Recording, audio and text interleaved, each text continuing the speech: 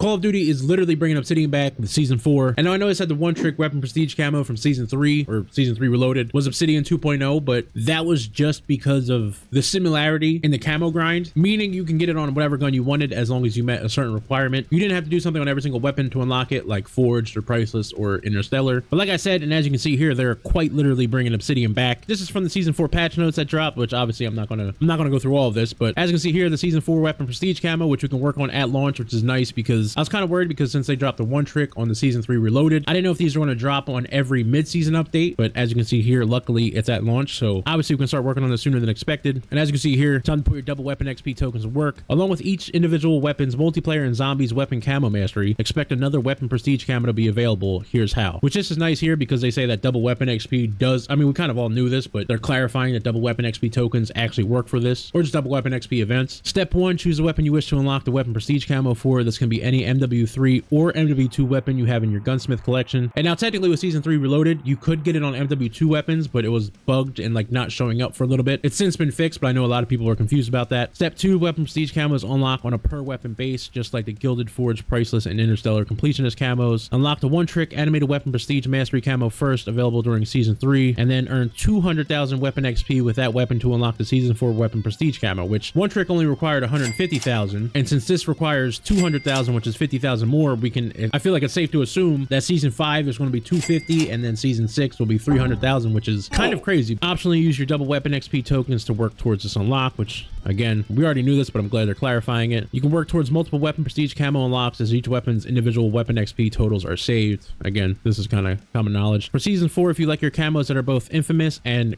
quote, none more black, but newly animated than the redacted camo becomes unlockable for every MW2 and MW3 weapon and an epic grind for the ages, which obviously it's Obsidian. But I'm glad that it's at least animated this time because Obsidian in MW 2019 was absolutely, it was a cool ass camo, but it wasn't animated. And it was one of the hardest, or not hardest, but one of the most time consuming camo grinds. And my dumbass unlocked it on literally every single weapon. All the base weapons and every single DLC weapon that came within the seasons. We're not going to talk about it, but yeah, I think we kind of manifested this because, like I said, everyone was pretty much calling the one trick camo Obsidian 2.0, but now we literally have Obsidian 2.5, or would this be 2.0? But if this is 2.0, what would that make one trick? 1.5? But then what would season 5 be?